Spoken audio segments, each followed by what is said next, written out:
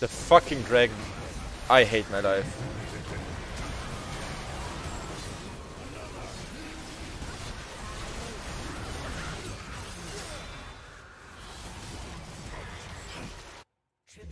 I couldn't click my barrel because of the dragon. Holy shit.